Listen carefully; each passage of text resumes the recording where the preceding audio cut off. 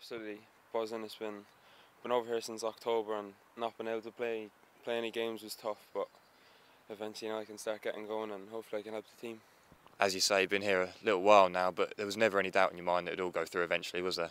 No, I always knew it was gonna come true, so I just put the put the head down and in training and tried to work as hard as I can to try to get into the first team and hopefully get a few minutes. What sort of uh, welcome have you had from the town squad here? Yeah, they were very welcoming. But, um, got a nickname Murph a few weeks since I've been here, and yeah, it's been it's been welcoming. As you say, nickname Murph, obviously Daryl Murphy, great guy here, and uh, you'd love to replicate anything that he did, wouldn't you? Yeah, he's a, he's had a good career at championship level, and I'd be doing I'd be doing good to replicate what he's done. So hopefully I can even do do better than what he's done. So and that's the aim.